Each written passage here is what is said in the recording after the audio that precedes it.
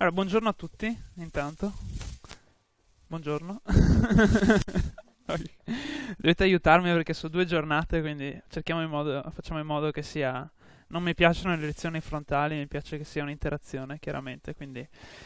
Io sono un chiacchierone, però 16 ore sono una bella sfida anche per me, quindi chiacchierate anche voi, interrompetemi, fate domande, tutto quello che volete. Ok, tanto tempo ne abbiamo. E beh, cominciamo dalle basi, cominciamo col conoscerci un attimino. Perché io ho provato anche a mandare una mail, capire un po' quali erano le vostre esigenze, ma forse anche perché era difficile prevederlo, no, non ho ottenuto risposta, insomma. Quindi, se volete mi presento prima io, mi presento alla fine, eh, ditemi come vi chiamate, eh, cosa avete fatto, perché siete qui, cioè, quindi cosa vi aspettate e, e anche cosa vi piace fare che è la cosa più importante. Le vostre passioni, al di là del lavoro e il resto. Chi vuole partire? O parto io?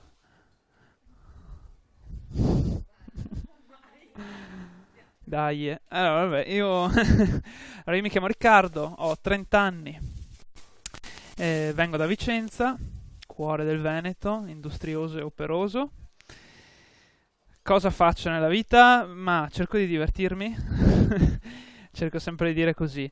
In realtà ho un curriculum che se lo vedesse qualche esperto di risorse umane, cose del genere, si metterebbe le mani nei capelli.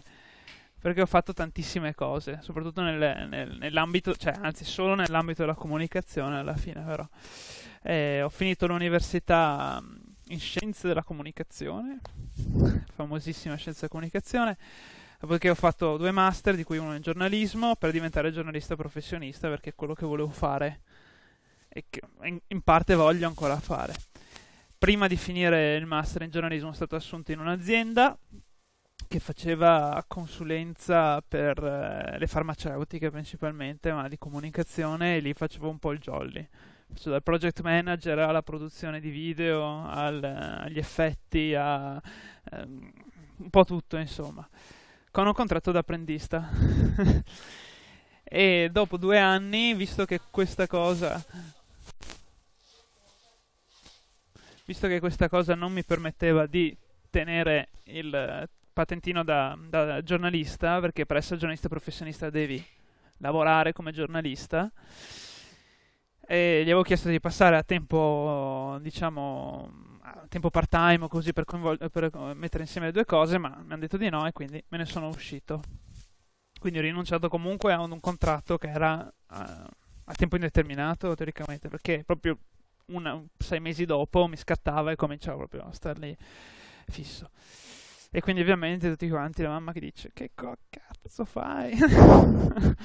Vabbè, no, no, invece dai, mi hanno abbastanza supportato. E da lì prima ho fatto l'autore televisivo, dopodiché purtroppo per ragioni indipendenti dalla nostra volontà eh, l'esperienza è finita perché non ci pagavano e siamo andati in causa. Buongiorno. E da lì, quindi da due anni e mezzo, ho proprio cominciato a lavorare proprio da solo. E ho fatto, faccio consulenza, faccio video, faccio... Due, adesso da, da, un anno e mezzo ho tre startup, di cui una pubblica che è Job Club, forse me ne ha parlato un po' Nicola, insieme a Nicola, e le altre due ancora che stanno crescendo. E sono tornato a fare un documentario d'inchiesta quest'anno, ci ho investito tanto tempo però è una cosa che mi piaceva fare, l'ho fatta e l'ho finito il mese scorso e poi insomma un po' di varie cose sempre nell'ambito della comunicazione quindi tanta consulenza comunque partita IVA e poi un anno e mezzo fa mi avevano chiesto di intervenire a una, a una a un, diciamo una, un convegno, no? un convegno, una serie di lezioni sul, sulle arti visive, mi ha detto vieni a parlare di storytelling, cioè di come si scrive una storia. E ho detto va bene, e mi è piaciuto. E allora ho cominciato a fare anche quello. E ho cominciato a fare un po' di lezioni qua e là. E adesso direi che è quasi la cosa che faccio di più, più o meno. Fare lezioni su vari aspetti della comunicazione e, e comunque tanto anche sulla ricerca del lavoro, perché poi è il filone che ci ha dato un po' più di fortuna anche insieme al Job Club. Adesso ho cominciato a collaborare con questa azienda che si chiama eh, HR Community Academy, che è a, a Roma, HR sta per Human Resources, quindi risorse umane. E loro praticamente sono un'associazione che unisce tutte quante le più grosse, i più grossi responsabili di risorse umane di, d'Italia, quindi comunque aziende enormi, Cisco, Nestlé, Generali, Pirelli, tutte queste cose qua. E loro hanno avuto una bella idea, hanno detto perché a queste aziende invece di, di, di regalare, sapete che le grosse aziende danno un bonus o un regalo di solito ai dipendenti, ho detto ma invece che dargli il biglietto per andare allo stadio, cose del genere, perché non regalate ai figli dei dipendenti una giornata di formazione? E questa cosa ha avuto un enorme successo, tanto più che adesso da, da inizio fine settembre a Natale abbiamo 25 incontri e in ognuno di questi io intervengo per raccontare la mia versione un po' talebana no, di come si cerca lavoro, che vedrete è molto diversa da quello che sono quasi certo vi, vi aspettate. Eh, questo è quanto, invece le cose che mi piacciono fare al di là del lavoro, che comunque mi piace, eh, canto, studio canto da tanto tempo, eh, andare in montagna quando, quando, posso, mi piacerebbe viaggiare se avessi tempo e soldi, quel poco l'ho fatto, quando, quel poco tempo che ho avuto perché anche l'università l'ho voluta fare in fretta, vabbè, eh, ho cercato di viaggiare e tanto volontariato. Ho anche un progetto in Caritas, perché sono volontario Caritas da tanto tempo, che si chiama Ripartire, che è partito proprio a giugno e che mira ad attivare dei tirocini per persone che escono dal disagio della Caritas, insomma, quindi possono essere ex tossicodipendenti oppure eh, possono essere persone con disagio psichico o fisico o appunto che escono da mm, problemi economici forti, insomma. E questa è l'altra mia attività che dovrebbe occuparmi tre, tre giorni a settimana, però ultimamente eh, devo sempre farlo sempre più spesso a, a distanza. Questo più o meno è quanto. La parola a voi, se volete essere anche un po' più concisi di me, ma era giusto che magari mettessi qualche informazione in più, visto che sarò quello che sparlerà più spesso. Vai, parti tu. Mm-hmm. Mm? E questa è la tua professione? Fare? Mm? E diciamo che dal lavoro di tesi è venuto fuori, cioè si è scatenato a me un, un grande interesse appunto per il mondo del lavoro, anche se era una cosa che comunque mm. coltivavo in precedenza perché comunque mi è sempre piaciuto stare a contatto con le persone, quindi ho fatto piuttosto dei lavori di collaborazione, tipo negli studi notarili oppure presso mm-hmm. dei CAF, queste cose qui.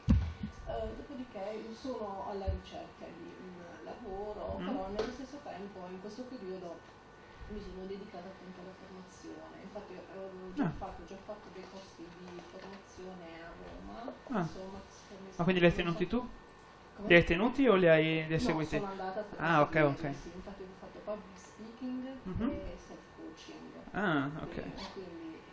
Tutto in inglese, eh, credo sia più importante se chiami public speaking eh, no? e, no, e, non li chiami parlare in pubblico, sembra poi che ci fanno solamente i pezzenti. Vabbè, scusami. Eh, faccio volontariato da circa un annetto, lo stesso infatti faccio delle lezioni, invece sono uh, come docente presso l'Università della Terza Età, perché nel mio paese ah. quest'anno invece sono stata convocata anche presso un altro paese, sarebbe Turi, sempre della provincia di Bari. Ok. E quindi eh, mi piacciono, diciamo, mh, mm, sono più dedita alle um, materie sociali, quindi perché mi piace interagire con le persone, quindi uh, ascoltarle. Quindi, mm. uh, diciamo quasi mi medesimo nei loro problemi, nelle loro problematiche. E comunque mm, l'altro lato è mm, mi piace studiare uh-huh. e mhm. leggere tanto, quindi ho anche mm, diciamo, una propensione, una funzione investigativa, anche trattare i dati, uh-huh. eh, controllare statistiche, quindi venire fuori, eh, cioè tirar fuori quelli che sono, potrebbero essere delle problematiche e magari trovare delle, delle piccole soluzioni. Ok. Eh, tutto questo. Niente, quindi continuo, questo mio lavoro infatti continuo a leggere, continuo a documentarmi, a tirare fuori quello che si può fare. Okay. E nel, nel frattempo sto cercando insomma, di inserirmi nel mondo lavorativo, cercare quale potrebbe essere la, la via migliore, anche se ora a distanza di un anno già dal mio percorso eh, ho già quasi individuato quale potrebbe essere. Mm. E sarebbe, in una parola?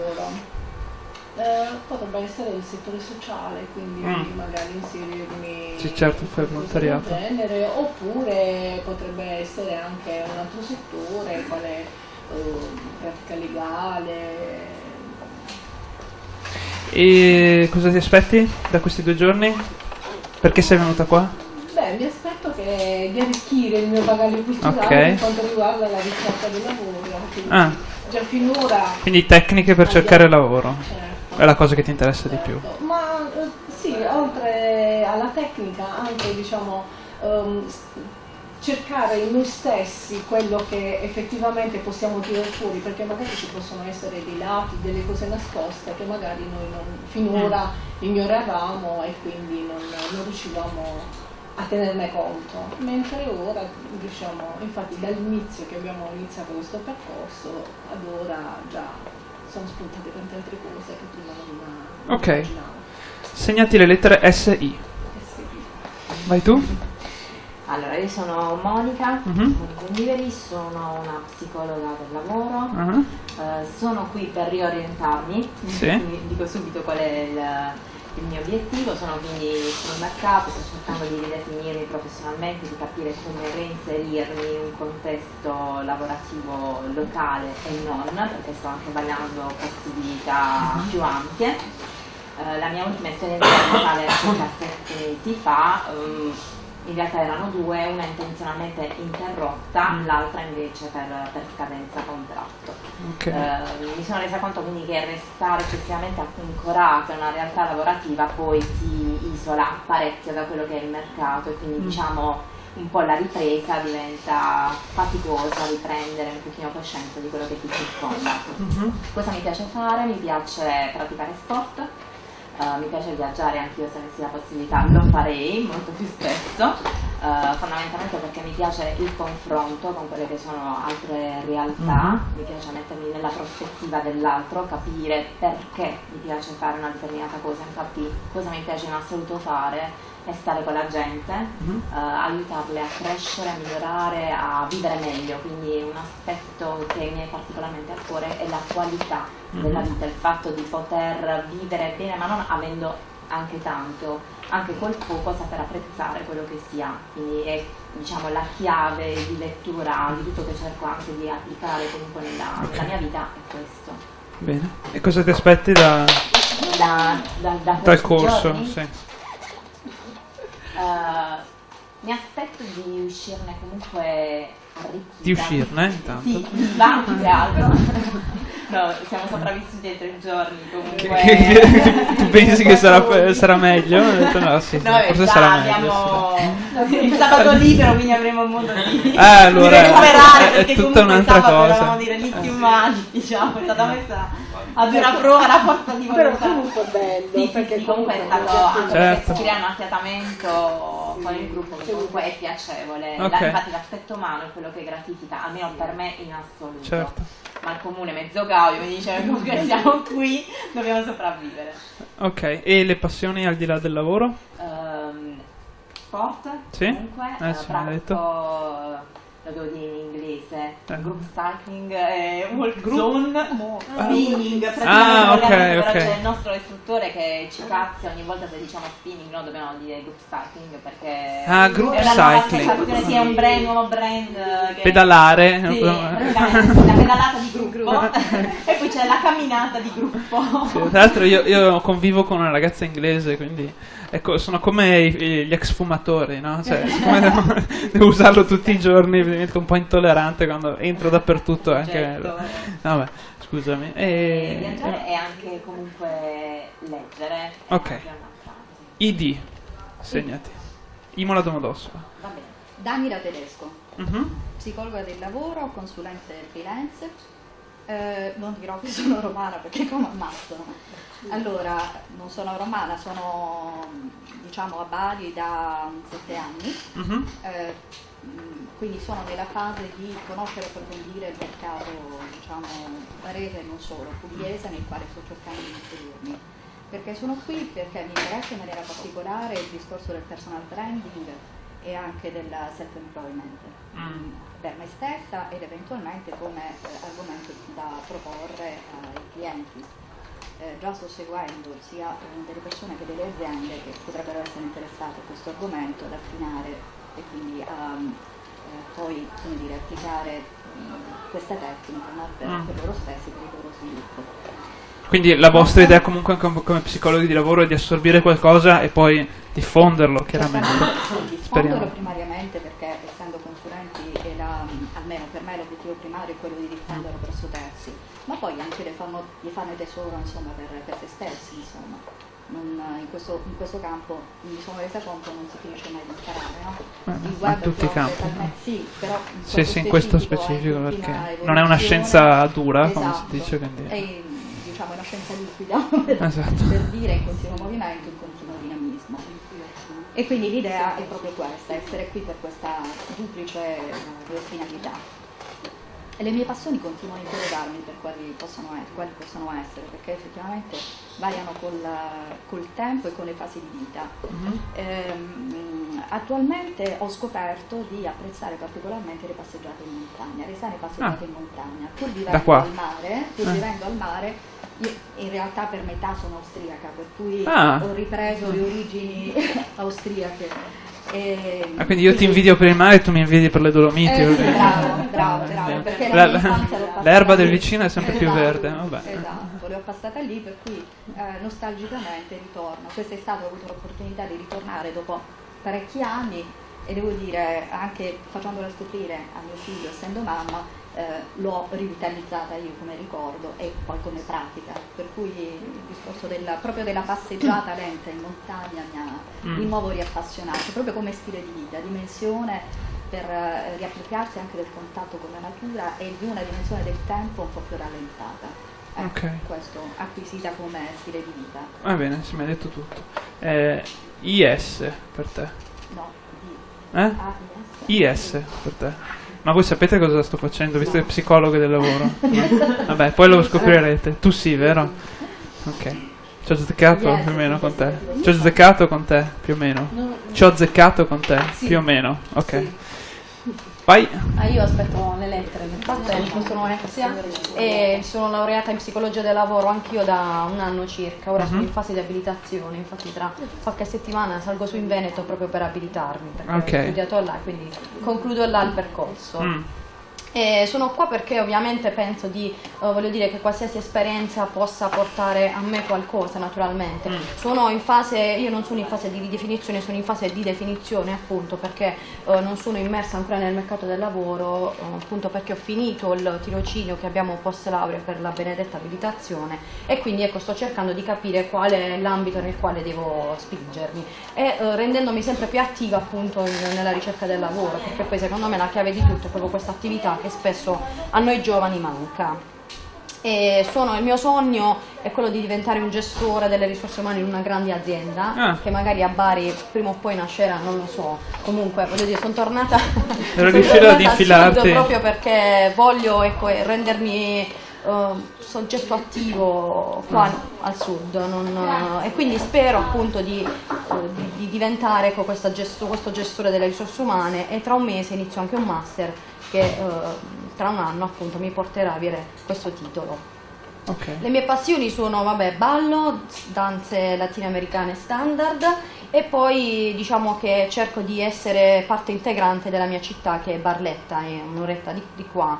Uh, come assisto psicologicamente insieme ad una psicoterapeuta uh, le persone che sono in lista d'attesa, le famose mm-hmm. liste d'attesa chilometriche che spesso vengono lasciate così, cioè spesso, sempre vengono lasciate così in Valia delle Onde ad aspettare mesi e mesi e quindi quello che faccio appunto è di renderli um, diciamo, consapevoli di quello che sarà poi l'iter uh, grazie ad una formazione che ho avuto a Pisa vengo qua a Barletta a cercare appunto di, di, renderli consapevoli di quello che sarà l'iter poi del trapianto, perché spesso si avvicinano al trapianto senza sapere cosa è realmente. E ti piace farlo? Sì, molto. Okay. E poi da, comunque cerco anche di, uh, sono inserita in diverse associazioni proprio a livello locale e cerco appunto di essere vicino a quelli che sono i problemi più impellenti da, diciamo, attraverso l'amministrazione comunale da risolvere, da rendere almeno più emergenti, in modo tale che siano nell'occhio del ciclone. Questo è quello che fatto, faccio per oggi, fino ad oggi. Ok, e cosa ti interessa di più, ti interesserebbe di più portarti a casa da questi due giorni? È proprio il termine attivo che a me interessa okay. tanto, è quello il motivo Cioè le azioni da fare per, per aiutarsi, sì. aiutarsi, a trovare lavoro. Aiutarmi, sì. Ok. Vabbè, passioni più o meno me le hai dette, non sì. so se ce ne sono di collaterali. Cose no, per ora sono queste qua. Ok. Eh, DI, anche per te. Domodossola Imola. Eh, Tocca a te. Ciao, sono Daniela, anch'io sono laureata in psicologia del lavoro. Ma che cazzo? La curva. Mm. Eh, niente, do- sono ritornata anch'io nel sud Italia dopo vari spostamenti in giro mm. per l'Italia, in Inghilterra. Mm. Sei di qua? Sì. Mm-hmm. Eh, niente, anche voglio provarci qui e inserirmi in, in questo contesto. Perché... Siete come salmoni tornate a casa. Sì. È il mare che fa Eh sì, come se... No, in realtà mi, cioè, mi, sembra anche un peccato. No, cioè, non è detto che resti qui, però mi sembra proprio un peccato. Cioè, mi sono resa conto di quanto l'Italia poi alla fine. Ci sia bisogno, certo anche. Sì, cioè, ci sia bisogno di voi. Per, se tutti se ne vanno. No? Quindi lodevole. E quindi niente, sono anche in fase di esplorazione sono venuta cioè, diciamo per questo mm-hmm. poi mi è piaciuto molto il corso che mi sta di Nicola piacendo ah, corso questi due giorni non so perché per me c'è l'argomento un po' noioso però cerco di eh, no, vedrai che non, non sarà così detto, ecco, ecco, l'unico rischio che mi sento di più o meno tranquillizzarvi che non sarà noioso. Adesso, poi vedrete voi se vi servirà o meno. Ma sì, penso di sì. Di sicuro mi servirà, quindi questo sono venuta lo stesso. Niente, stavo cercando di agganciarlo alla cintura, ma vabbè, non importa, tengo in, in tasca, nessun problema. Mm. E um, altre passioni? Ma diciamo che le sto riscoprendo adesso, comunque sì, leggere, scrivere anche. Mm. Ok volevo iniziare a fare anche qualche attività più, più creativa, mm-hmm, bricolage, non lo so, okay. scoprire un po' di roba. Ok, e quindi non sai bene cosa aspettarti a questi due giorni qua, sei venuta un po', hai fatto un, un balzo nel buio. No, vabbè, di sicuro comunque cioè, questo laboratorio mi, cioè, mi sembra molto interessante, quindi sicuro imparerò nuove cose. Ok. SC. SC. No, mi chiamo Nico, ho 35 anni.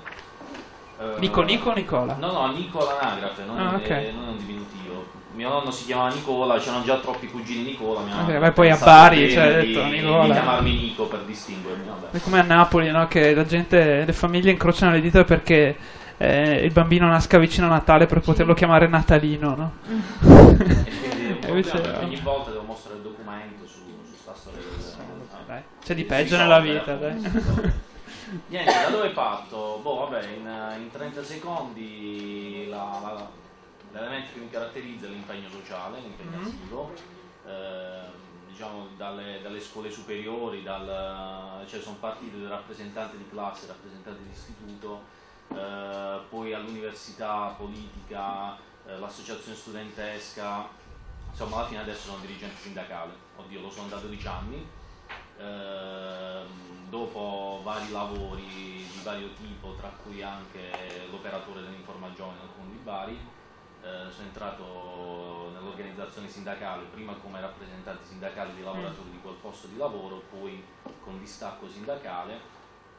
E niente, insomma mi, mi sono occupato di varie cose nel, nel corso degli anni eh, l'impegno maggiore che mi ha occupato quasi sette anni è stato nei confronti dei lavoratori cosiddetti atipici, uh-huh. quindi collaboratori a progetto, partite IVA e quant'altro. Sono stato coordinatore regionale di questo settore per conto della CGL eh, e quindi mi sono occupato di trattative con aziende piccole piuttosto che multinazionali, piuttosto che diciamo, di eh, relazioni sindacali con le istituzioni, regione, provincia e quindi sono un appassionato di tematiche del lavoro, mercato del lavoro e questioni di questo tipo, tant'è vero che non appena eh, abbiamo visto il bando della Regione Puglia per realizzare i laboratori dal basso, mi, so, sono stati, mi sono attivato subito per creare un network, una rete con soggetti che avevo già nel corso degli anni incrociato, tra i quali FUA, Nadia che è stata una nostra tirocinante a suo tempo in CGL che ho seguito io qualche anno fa, un'associazione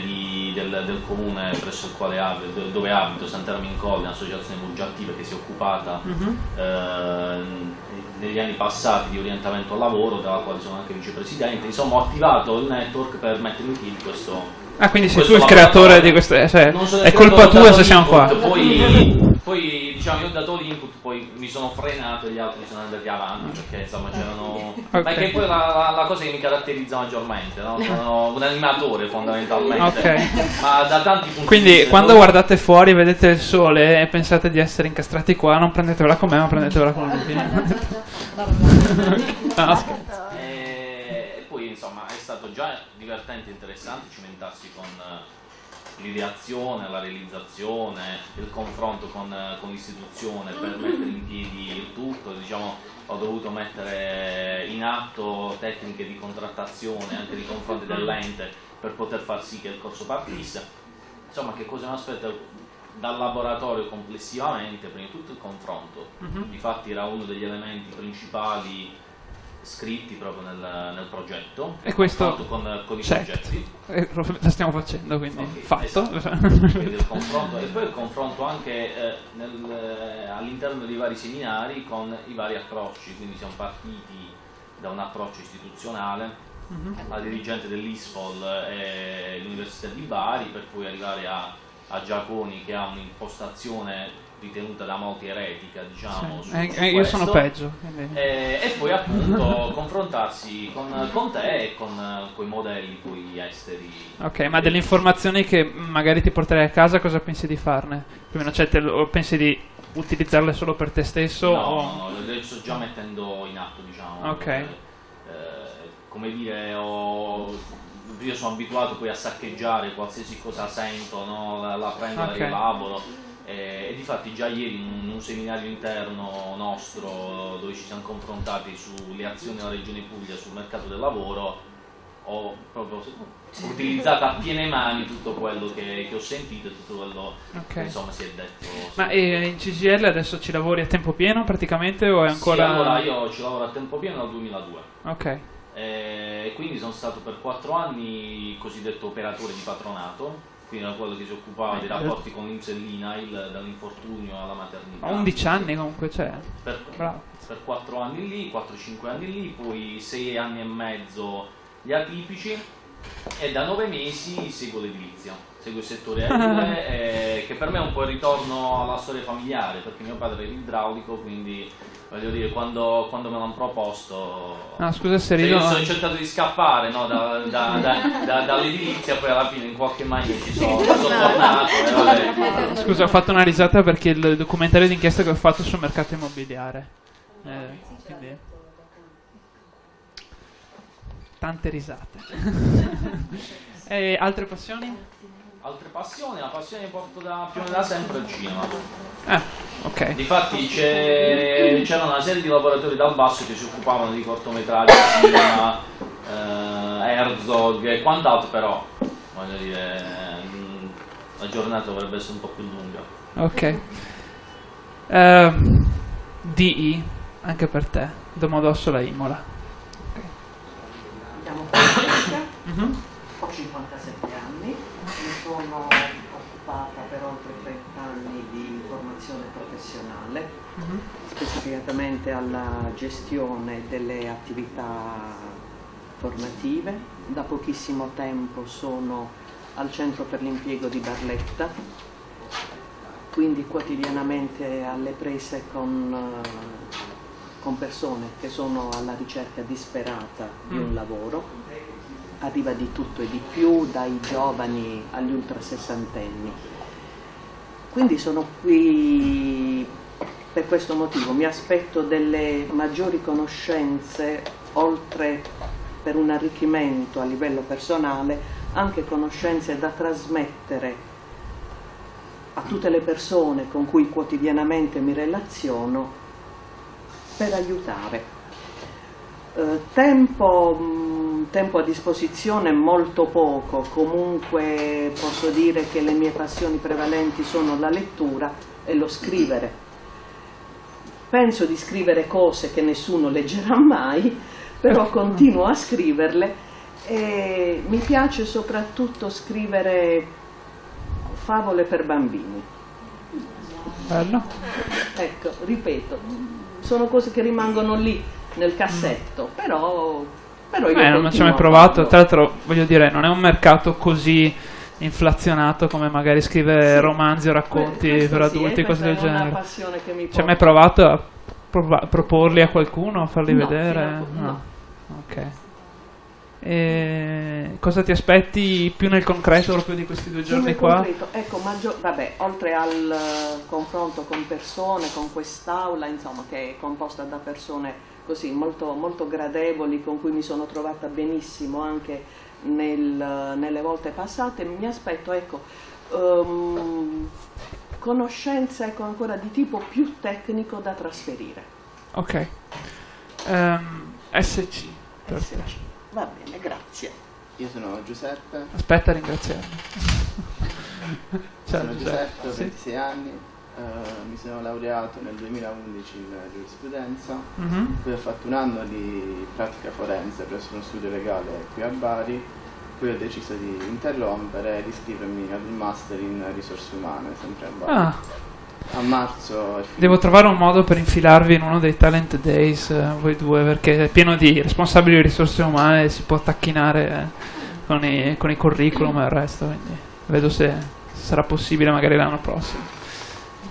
A marzo è finito il, il master, ho fatto sei mesi di, stage presso una società per azioni qui a Bari che si occupa di servizi su tutto il territorio nazionale, nella direzione del personale eh, dove mi sono occupato principalmente di relazioni sindacali, contenzioso del lavoro, eh, ricerche giuridiche, assunzioni mm. e licenziamenti. L'11 ottobre è finito questo stage e dal 12 ottobre sono alla ricerca attiva del lavoro e quindi, e quindi aspetto un orientamento mm. nel, nel mercato del lavoro. Cosa non ti era piaciuto della pratica legale? No, eh, io sin dall'inizio non, non volevo fare l'avvocato, ah. volevo entrare in azienda, però volevo mettere in pratica quelli eh, che erano stati i miei studi di laurea. Uh-huh. Eh, infatti mi è servito molto dopo, anche in azienda in questi mesi, le nozioni che ho appreso durante la pratica legale nel contenzioso del lavoro mi sono state molto utili. Ok. E altre passioni? Uh, cinema, ah. mi piace molto viaggiare uh-huh. e leggere. Ok. Quindi comunque da qua la cosa che ti piacerebbe più portare a casa sono un po' di tecniche anche per cerc- cercare di trovare lavoro, sì. giusto? Uh, per te è difficile. S sicuramente. È un po' C, un po' D. Però direi più... Uh, sì, scriviti SCD più o meno. Okay. Allora, mi chiamo Lavinia, ho 48 anni, sono un'insegnante da più di 20 anni, insegno uh-huh. lettera, nella mia scuola faccio un po' di tutto, mi occupo di tantissime attività, anche quest'anno ho cominciato anche con i progetti europei perché sono questa vocazione per intercultura, quindi mi piace stare anche con, eh, confrontarmi con altre culture e altri punti di vista. E a scuola faccio anche... Mh, Orientamento mi occupo di orientamento per i ragazzi delle scuole medie inferiori ah, e per i ragazzi bello. in uscita. E in realtà quello che mi aspetto da questo incontro è la possibilità di poter orientare anche i miei ragazzi, cioè i ragazzi di questa scuola, e soprattutto sradicare la sfiducia che hanno quanto eh, ce n'è bisogno, porca miseria.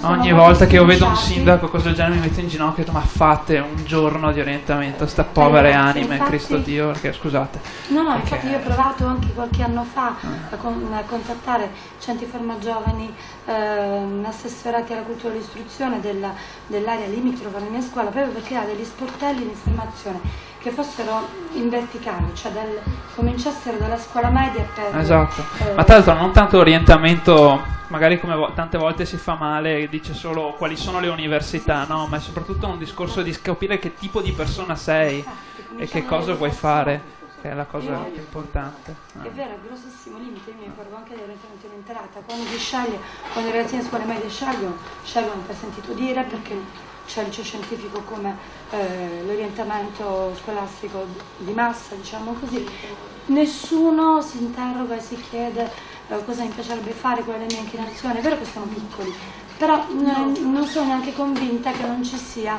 già eh, una, una certo. vocazione, un'attitudine uh, su cui puoi lavorare. Devo dire che la mia è una scuola d'arte, quindi sono riuscita anche mettere insieme la mia passione, uh-huh. mi piace insegnare, la, okay, mia passione okay. lavoro tantissima, però ho anche questa inclinazione artistica. Lavorando in una scuola d'arte mi occupo degli eventi, eh, collaboro sempre con i colleghi, insomma, un po' artisti, un po' creativi. Ok. E, sì, ok. Altre passioni proprio al di là del lettura, lavoro? Lettura, cinema. Ah, tu I di sicuro, eh, un po' di S anche. Vai tu? Eh? Sono Giovanna, mm-hmm. sono libera professionista, mi occupo di formazione e di orientamento e attualmente collaboro con Nifor, mm-hmm. la struttura che ci sta ospitando in questo momento. Quindi anche a te dobbiamo rivolgerti se vogliamo, se avremo, se vogliamo andare via col sole. Sì, sì. sì. Eh. E, mh, le mie passioni sono tante. Eh? Arti marziali e arti meditative, quelle in assoluto. No, meglio, meglio, non farti arrabbiare. No, no, tranquilla. Film di spionaggio, tutto ciò che ha a che fare con serie televisive americane mm-hmm. e dipingo. Bingo? Di bingo. Ah, di bingo, che ho capito bingo. No, bingo. che, Quei vecchi con lo stampino. ah, infatti ho detto che c'è arti marziali e bingo. Eh, bingo. ok, e, e, quindi lavori in, pianta stabile qui? No. No, fai. Eh, quindi sei un po' alla ricerca anche ricerca però attiva. Sì, esatto. Vedo che magari Nicola va già educato a dire che non siete disoccupati. Ho avuto modo di conoscerlo eh. anche in altre situazioni, in altri contesti, prima di questo laboratorio, quindi okay. l'archivo è, è, ben, è adesso in fase di elaborazione effettivamente. Uh-huh. E mi piace sempre reinventarmi, dipingo e quindi... Ok. E, sì, quindi da questo cosa ti aspetti di, anche di un, un, ehm, po' di... Ho imparato da qualche annetto non vivo in più di aspettative, ah. la mia formazione al counseling mi ha insegnato principalmente mm. questo. Ho proprio voglia di confrontarmi e di conoscere perché so che insomma ho l'idea che seguire persone che operano e poi mettono in pratica attraverso questi laboratori possano mettere in pratica quello che hanno esperito secondo me è mh, molto arricchente perché significa confrontarsi con qualcosa che hanno potuto toccare concretamente certo. e che mettono a servizio anche degli altri. Quindi okay. è questo che mi motiva mh, particolarmente ad essere qui in, questo, in, questi giorni, in questi incontri. Ok, uh, eh, ID anche per te. Allora, io sono Nadia Saponaro, sono una psicologa del lavoro e sono anch'io responsabile, come ho detto l'altra volta, di questo fatto che siamo qui, quindi è colpa anche mia, non è solo colpa di me. E, ehm, io faccio la libera professione, mi occupo di risorse umane, mm, ma anche di sociale, di reinserimento sociolavorativo di mm-hmm. soggetti svantaggiati. Lavoro da circa 4 anni, in particolare con gli ex tossicodipendenti, eh, anche se non è l'unico target di cui mi occupo. Eh, faccio anche, quando capita, insomma, selezione e... Mh, soprattutto orientamento che è quello eh, che eh, diciamo, forse ha più, eh, è più il centro diciamo, di una serie di, eh, di, situazioni, cioè attraverso l'orientamento si riesce a lavorare su tanti fronti, certo. soprattutto quando si fa a scuola.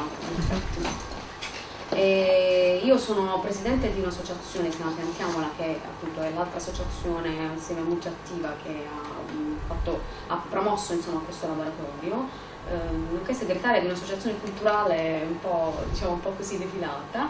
E, mh, le mie passioni al di là so, sono due o tre in realtà.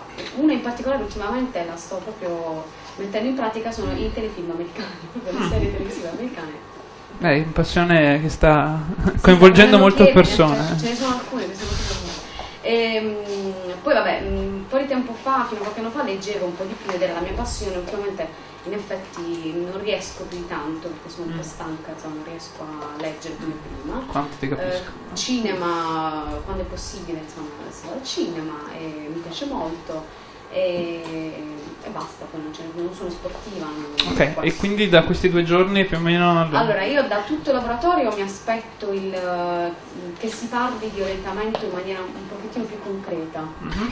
e quindi anche da, questo, da, questi due giorni mi aspetto concretezza. Eh, molte volte se, ho, cioè, ho, partecipato a una serie di anche seminari sull'orientamento, ma soprattutto a livello istituzionale se ne parla, ma se ne parla in maniera un po' eh, così, eh, ma neanche, eh, sembra quasi, sembrano quasi dei discorsi che non hanno concretezza, quando in realtà non è così.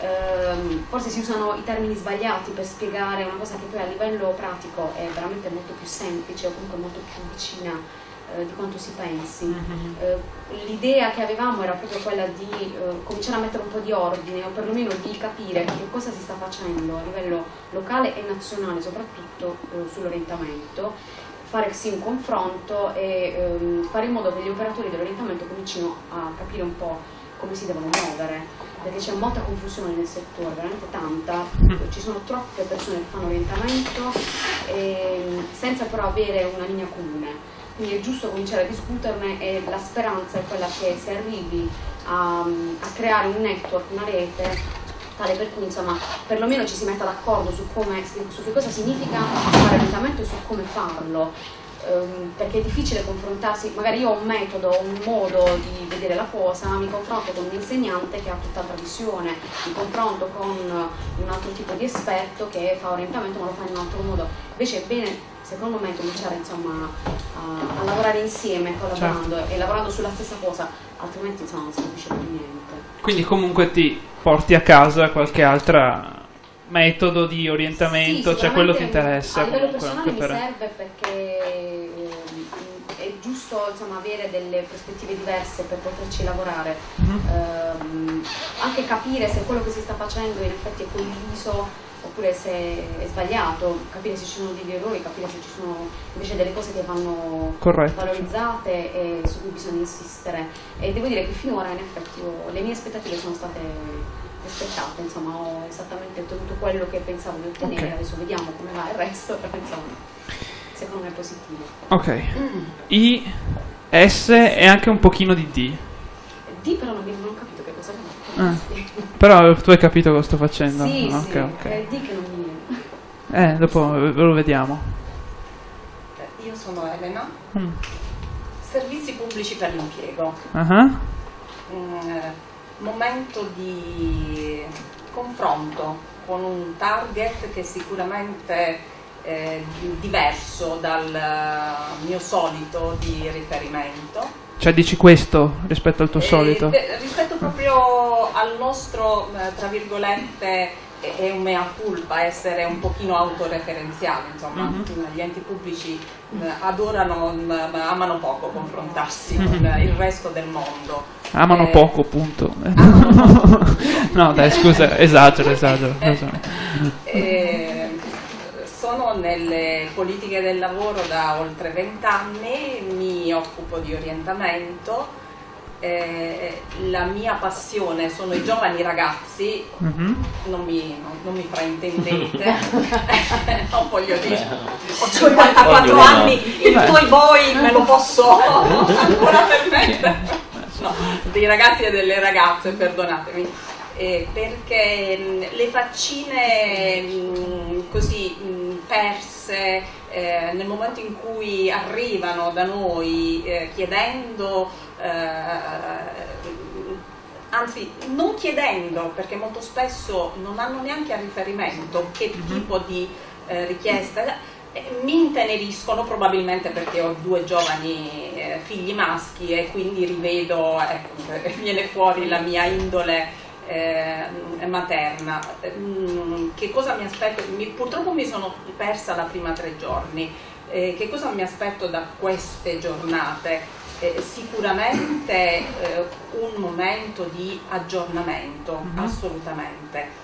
Eh, in effetti nostri, le, la nostra modalità operativa è un po' stantia. Noi siamo una giovane provincia, parlo della provincia di Barletta Andria Trani e devo dire eh, e forse anche per questo sono qui, un po' per promuovere eh, questa ventata di gioventù che è arrivata da giovani dirigenti della nostra provincia e quindi che approcciavano eh, il loro lavoro, il loro impegno eh, con, un, um, con, un, modus eh, tutto nuovo e quindi anche per portarlo all'esterno perché okay. si mh, possa ecco, veicolare il fatto che anche noi stiamo tentando un lavoro di mh, trasformazione e anche eh, eh, di osmosi nel senso di eh, proprio contatti con il resto del mondo.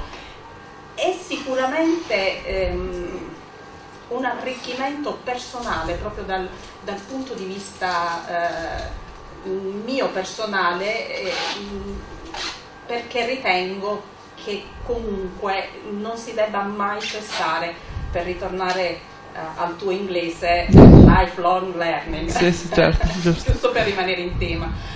Formazione continua. Assolutamente lungo tutto l'arco della vita. Uh-huh. assolutamente, le mie passioni assolutamente eh, walking with my dog uh-huh. il mio cane e mh, da quattro anni ormai la lettura quando posso, certamente, e, e, da quattro anni ormai la pet therapy con la mia mamma malata di Alzheimer. Ah, ho capito.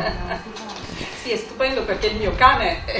ah, quindi col suo, col suo cane vabbè, no, no, non mi fate parlare del mio cane perché sennò no. non la smetterei più. Il mio cane ha a riferimento esattamente tutti i componenti della nostra famiglia, cioè se gli dici vai da Michele, lei va da Michele, se gli dici vai da Enzo, va da Enzo, se gli dici eh, la nonna, lei va dalla nonna. Quindi, che cane è? È, è un trovatello. Ah, ok. Okay. Appena finiamo te lo, te lo, mostro perché naturalmente è sullo schermo del Ah no, pensavo, pensavo lo portassi qua. Eh, a me piacciono i cani, tra l'altro. Beh, okay. è, è, un bel cagnone, non avrei potuto portarlo in meglio, meglio per me. Beh, scusate, sapevo di dover parlare. No, no, ma parlavamo anche delle nostre passioni, insomma, è una passione importante. Assolutamente sì. Eh, tu sei un bel tipo. eh, secondo me sei una D però lei è un pochino anche, anche un po' S. SI. D, sopra, D su, soprattutto, però col tempo hai imparato a riequilibrarlo con l'SI. Poi vedremo. Penso proprio di sì. Eh, anche tu mi, mi capisci. Mi capisci più o meno? Più diciamo. o meno, molto più o meno. Eh. Mi sono dimenticata di dire eh, dei momenti di eh, volontariato eh, indotti, nel senso che eh, la Caritas molto spesso eh, con gli immigrati mi, chiede, mi chiede delle lucidazioni, chiarimenti sulle problematiche varie mm-hmm. e quindi nel, insomma, negli anni mi, occupo, mi sono occupata, mi occupo, ma molto volentieri anche di questo eh, aspetto. Ok, bene, cominciamo. no, invece abbiamo già cominciato. Eh, ci è voluto un po', ma è bene che sia stato così eh, perché um, quando facciamo questa cosa spesso la gente pensa che palle, adesso parlano tutti, magari non, non, ci si ascolta, però la cosa più importante è ascoltarci noi stessi, no? in realtà questa è già la parte più importante forse della ricerca del lavoro. Adesso qua sono pieno di psicologhe del lavoro, quindi sfondo una porta aperta più o meno, no? nel senso che l'autoriflessione è la vera cosa che manca nella ricerca del lavoro, cioè capire chi siamo, come dico spesso nella frase il mio lavoro, il soggetto è io, non è lavoro. E invece tutti quanti pensano che sia il lavoro, ok? Allora, beh, eh, siete un pubblico abbastanza diverso da quello che mi aspettavo, tante donne, tante psicologhe, e meno cercatori di lavoro, però è importante che ci siano anche quelli. Poi all'atto pratico, perché eh, chi di voi, al di là del fatto che abbia già un lavoro, sta buttando l'occhio per cercare qualcos'altro. Al- per alzata di mano, veloce. Ok, tre. Beh, anche tu, no? Cioè, anche, anche voi due, no? Siete alla ricerca, no? Okay. Quindi più voi due che comunque perché proprio lo state Certo, perché siete in ricerca, e anche tu chiaramente, sì, certo. Allora, eh, il programma del corso diceva che, almeno quello che mi è stato mandato, è stato che questa prima giornata dovremmo dedicarla tutta quanta ai beneamati bacini occupazionali, cioè do- dove va il lavoro. Ovviamente anche per questo ho, ho preparato dei materiali però sappiate che non ci credo per niente questa cosa qua quindi la facciamo perché bisogna farla perché comunque è giusto saperla però qua già partiamo con la prima questione credo di confronto e con cui io mi scontro ma mi scontro positivamente con molte persone è perché abbiamo questa ossessione di cercare un lavoro che il mercato del, cioè di fare un lavoro che il mercato del lavoro ci chiede cioè, sembra quasi che, noi do- eh, che cioè, il lavoro è il nostro, perché dobbiamo fare qualcosa che ci chiede qualcos'altro? E la cosa tragica è che io parto quasi sempre con una domanda molto semplice. Ho lavorato tanto con ragazzi giovani che è, una, è bellissimo perché è molto più facile che farlo con quelle poche volte che mi è capitato. Ma perché è normale che sia così con uh, cassa integrati, con gente che è stata 10-15 anni in disoccupazione, eccetera. E, ehm, e loro, e, e, loro, e loro magari sono pieni più di entusiasmo e vedere, vedere, proprio sono brillanti, cioè ti tiri veramente su a vedere almeno i ragazzi che incontro io. Ah, piccola parentesi, ovviamente c'è sempre un bias, visto che siete eh, psicologi, lo sapete. Chi è che non sa cos'è un bias? Eh, un bias è una falsa convinzione, praticamente, cioè tu eh, ritieni che la spiegazione di una cosa sia una quando in realtà c'è un altro fattore molto grosso, comunque preponderante, che può essere la vera spiegazione o comunque qualcosa che eh, influisce molto. Per dire, per farti un esempio, ehm, ecco una cosa per esempio è il lavoro all'estero, no?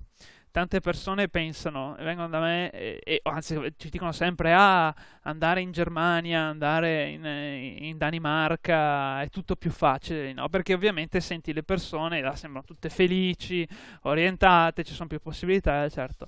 Allora, quella è una parte della ragione, è vero che è un po' più facile in altri paesi, però il grosso della ragione è che chi va all'estero sa, intanto si mette in discussione, niente intanto si mette in discussione e rinuncia a qualcosa di importante per se stesso, ma soprattutto ci va per un obiettivo. E quindi già solo il fatto che ci vada vuol dire che sta inseguendo qualcosa e quindi si sente già di solo per questo più equilibrato e felice rispetto alle persone che non sanno dove stanno andando, ok?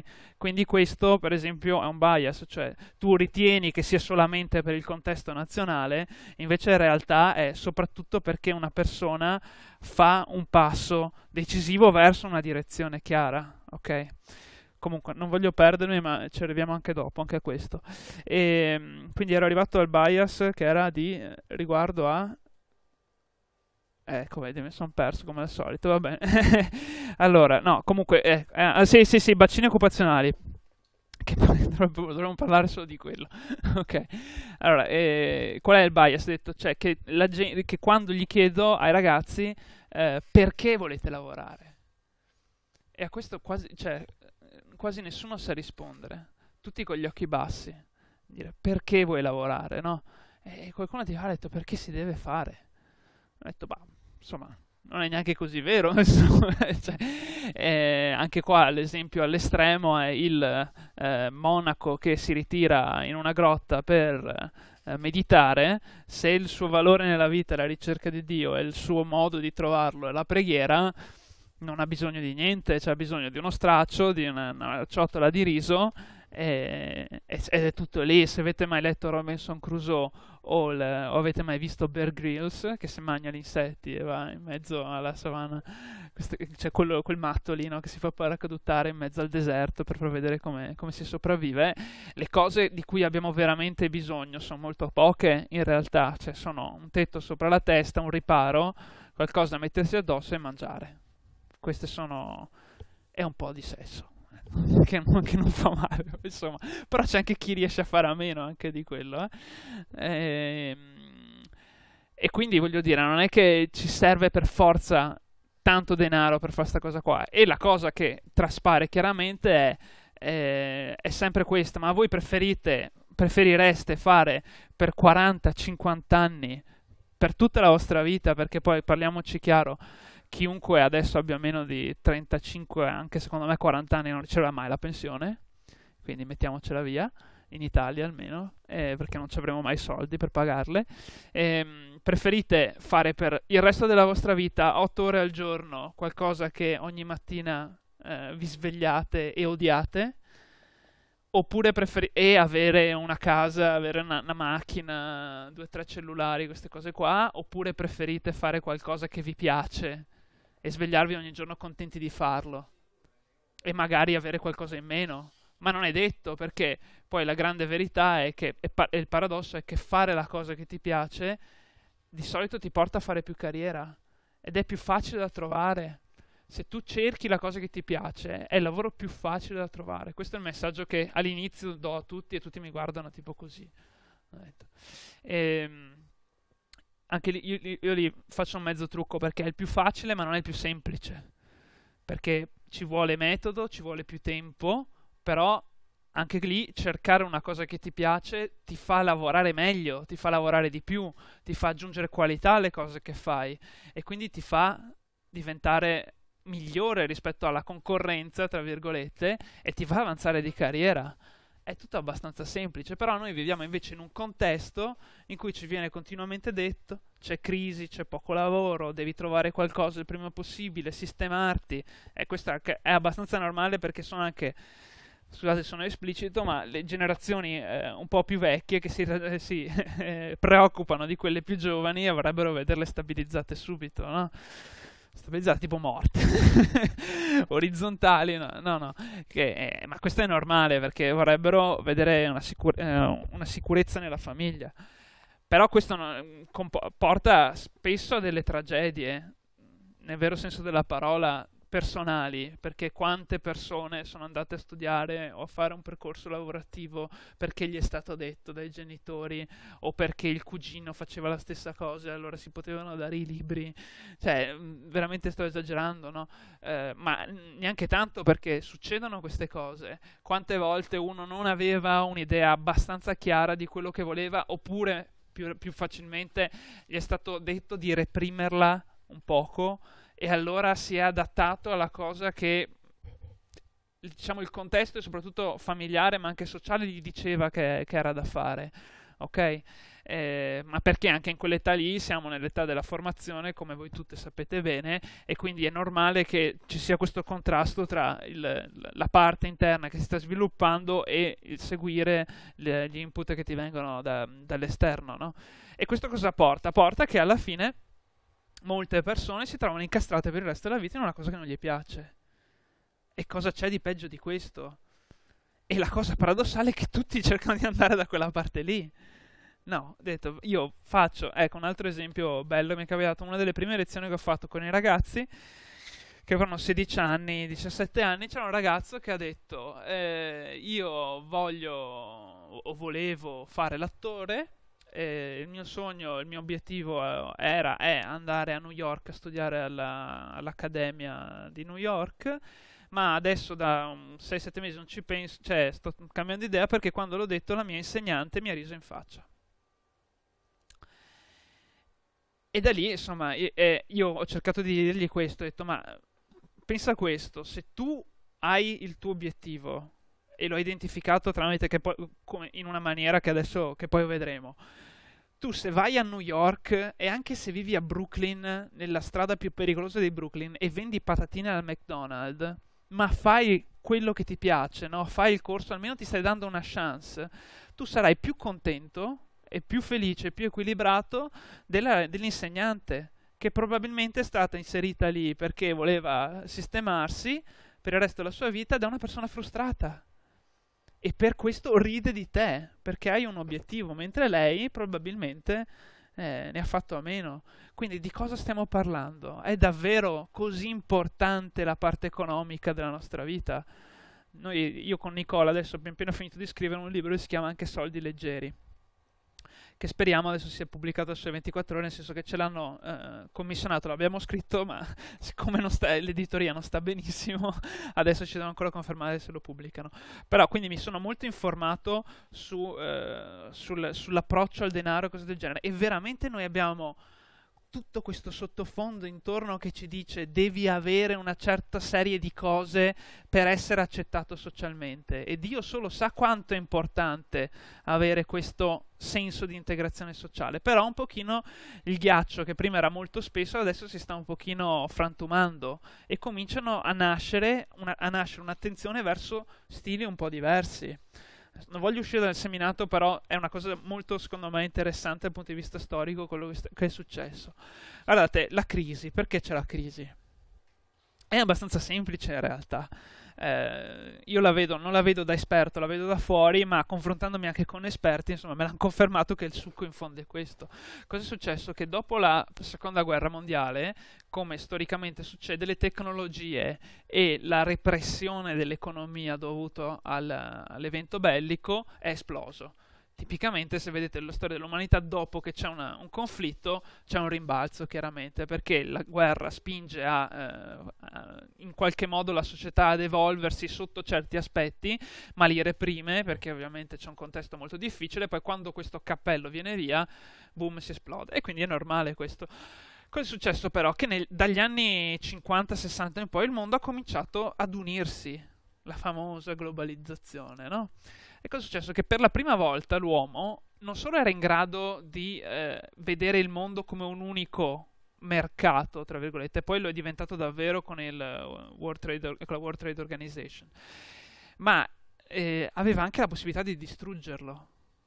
Pre- e questo l'ha detto anche un filosofo molto interessante, Jonas, che ha fatto un sacco di ragionamenti eh, belli anche se un po' inquietanti su queste robe. Cioè, per la prima volta dalla bomba atomica in poi, noi teoricamente siamo in grado di distruggere il pianeta tra virgolette il pianeta perché il pianeta di noi si fa un baffo come diceva George Carlin che è un grandissimo comico americano il pianeta sta benissimo le, le persone sono fregate.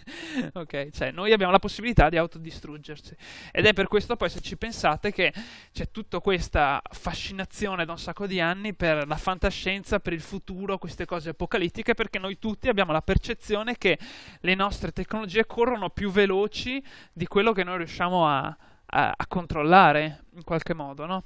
Allora cosa è successo? Molto più semplicemente si è attivato il meccanismo del cosiddetto consumismo, che era basato su un circolo che si pensava virtuoso e che è stato virtuoso, molto semplice. Più la gente consuma, più le fabbriche producono, più le fabbriche producono, più la gente lavora, più la gente lavora, più guadagna e più guadagna, più consuma. E questo circolo ha dato benefici a tutti. Eh, tutti potevano permettersi di più, le, la, la, ricchezza globale, anche se molto disequilibrata eh, rispetto alle aree, è esplosa, e, però questo modello qui non faceva i conti con due risorse limitate, uno il lavoro e l'altro le risorse della terra. Le risorse della terra le consumiamo al ritmo di una terra e mezza all'anno, cioè non che in un anno consumiamo tutta, la te- ma il, quello che dovremmo consumare in un anno in realtà lo consumiamo una volta e mezzo, ok? Questa è l'impronta ecologica e questo è un tema che conosciamo, è gravissimo, che teniamo là. L'altra parte è quella del lavoro. Il lavoro è stato eh, un po' calmierato questa cosa dalla tecnologia, dalla robotizzazione, da, insomma, che hanno tolto un po' di lavoro manuale, però nonostante questo se ci pensate quanta gente, cioè quanto noi ci sentiamo più stressati, quanto lavoriamo in più rispetto alla generazione precedente, no? E, eh, e, questo, e, senza parlare di cosa succede nel, in Asia o in Sud America dove la gente lavora 18-19 ore al giorno per mantenere questo sistema folle qua. E questo ha portato che nel 2007 nelle borse mondiali c'era 7 volte il PIL del mondo sette volte il PIL del mondo. Quindi vuol dire che sulla nostra testa giravano e girano soldi che sono sette volte il valore delle cose, perché il denaro crea denaro.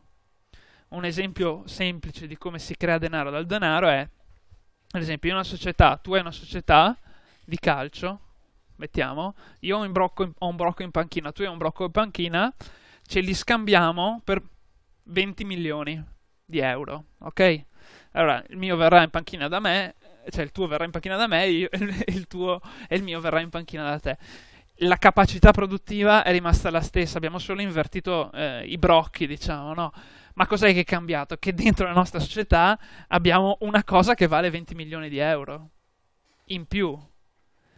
E capite che quindi si è creato valore su una cosa che non c'era. E in più noi abbiamo, adesso abbiamo due società da 20 milioni di euro, andiamo in banca e pronti i soldi. Voi, non so, più o meno giovani, probabilmente comunque vi ricordate quando le banche ti davano il mutuo al 110% per la casa, no?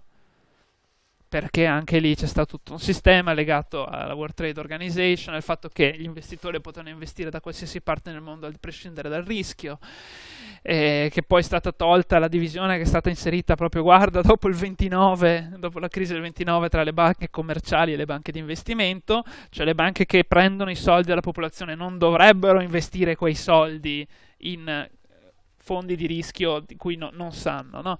E quindi si è creato tutto questo marasma di soldi. E la notizia è che eh, questo modello non è finito per niente, perché è stato messo in crisi nel 2007, ma la risposta qual è stata? Inondiamo di soldi il mercato. Almeno questo è quello che hanno fatto il Giappone e gli Stati Uniti. Stati Uniti fin dal primo momento. E non è un caso, guardate, la settimana scorsa, anzi pochi giorni fa, se aprivate i giornali c'era eh, gli Stati Uniti rimandano eh, il problema del, del, tetto del debito, no? perché loro per legge devono stare sotto un certo debito, se no va tutto in default, quindi l'hanno rinviato di sei mesi, e dall'altra parte lo Standard Poor's, nuovo record eh, storico. Ok? Quindi come si spiegano queste due cose? Perché c'è...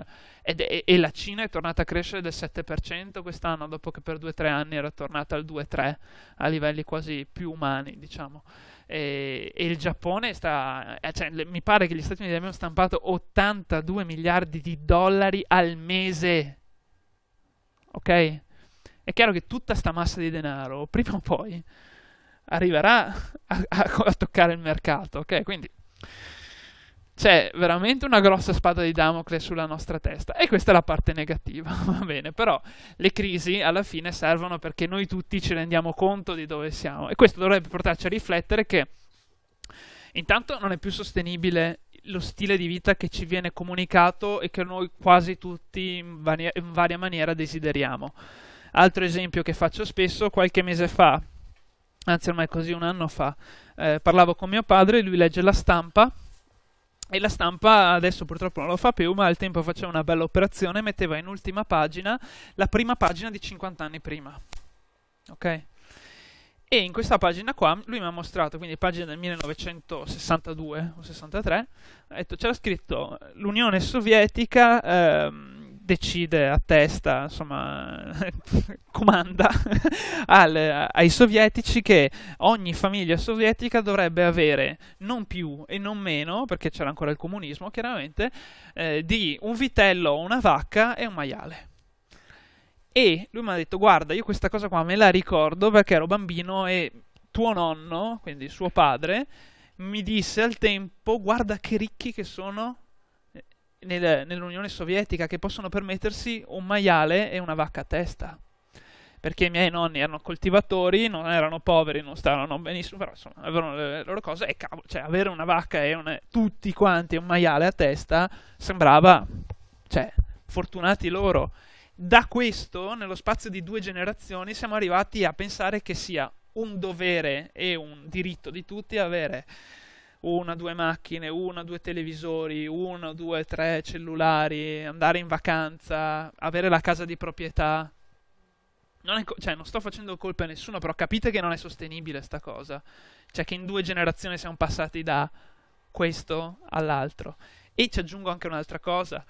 Eh, mentre una volta c'era più, e questo eh, eh, secondo me sicuramente interesserà il nostro amico sindacalista, eh, mentre una volta c'era un patto generazionale che era legato proprio alle risorse, nel senso che eh, se io sono un coltivatore eh, e faccio dei figli, io lavoro per tenere in vita i miei figli. No, cioè mentre lavoro io porto a casa il pane per sfamare me, ma soprattutto i miei figli. Quando sarò vecchio saranno loro a lavorare per me e per i figli successivi. Quindi c'era questa solidarietà intergenerazionale che eh, ci sosteneva. Cosa è successo? Che con l'idea della pensione, sacrosanta e tutto, a parte che anche qua... Eh, adesso passerò per il solito guastafeste, magari anche fascista il resto, ma è la verità.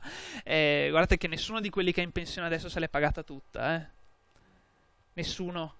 Cioè, tutti quelli che sono in pensione adesso stanno o riceveranno di più di quello che hanno contribuito. E anche lì è un, è un regalo dello Stato, in questo senso. Ma cosa è successo? Che praticamente se noi pensiamo che quello che noi lavoriamo adesso serve a pagarci la nostra pensione, e che ce ne frega della, cioè, della, della generazione successiva. No? Ha detto, no, ma perché mi vieni a prendere a me la mia pensione? No? Ho lavorato io per la mia e tu lavorerai per la tua. E questo ha fatto in modo che le generazioni dovre- eh, abbiamo questa idea che vadano su binari paralleli e che quindi non si contano. E poi all'atto pratico la generazione prima supporta ancora quella esistente perché le risorse sono distribuite male, quindi si compra la casa al figlio, si compra l'università, tutte queste cose qua. Ma è normale perché poi la, la solidarietà dentro la famiglia rimane. Ma il problema è che c'è proprio questo meccanismo che si è scollato di, eh, che incastrava le generazioni fra di loro. Ok? Tutto questo per dire, dobbiamo davvero preoccuparci così tanto di trovare prima possibile un lavoro che poi non ci piace? Oppure è meglio spendere 5... Ma no, molto meno, cioè poi dipende dalle zone perché anche qua bisogna fare un atto di realtà. Io vengo da una zona più fortunata probabilmente della vostra. Eh, perché ci sono più aziende, ci sono probabilmente più opportunità. Però quello che fa veramente la differenza è come si approccia il mercato. Perché tutti quanti si vanno a infilare, c'è questa idea che bisogna tutti quanti infilarsi nel grande imbuto degli annunci e delle grandi aziende. E poi vedremo che è una cosa mortale.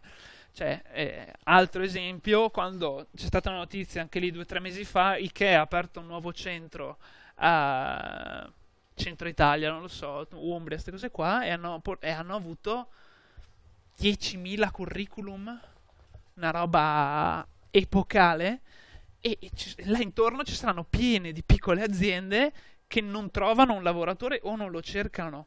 Il censimento nel 2010 ha, eh, ha trovato che ci sono in Italia 500.000 posti di lavoro in evasi ed è una larga sottostima. Cioè loro hanno chiamato le aziende e hanno detto a voi serve un lavoratore in più? Sì, a prescindere che lo stanno cercando o no. E questi sono fuori 500.000 posti di lavoro. Ok? Il che vuol dire che probabilmente ce ne sono ancora di più. Perché? Anche qua due cose veloci, poi metto tutta carne al fuoco che poi sarà più incanalata quando cominceremo a fare il corso più, più, eh, ordinatamente. Allora, la prima cosa da dire è che il 95% delle aziende in Italia hanno meno di 10 dipendenti. Il 90% ne ha meno di 6 e il 45% sono una sola persona queste persone qua hanno comunque bisogno di lavoro. Come diceva Keynes, mi pare, anche lì in una storiella interessante, il, il, lavoro esiste a prescindere dal, dal, dai soldi, ok? Anche in una società che non ha soldi o che non ha scambio, non ha neanche le conchiglie, ok?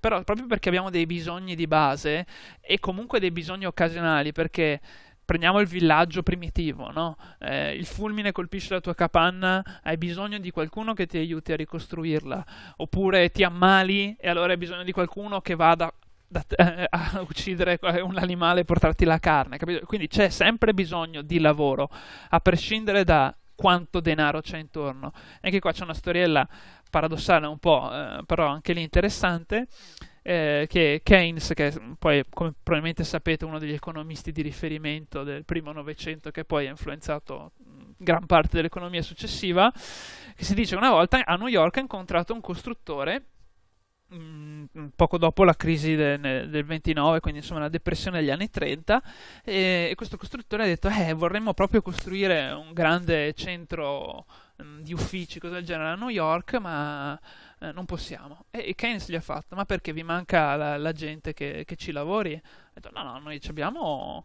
uh, operai, abbiamo, anzi che sono lì, sono fermi che aspettano, eh, ma vi, allora cos'è? Vi manca la malta, vi mancano i mattoni?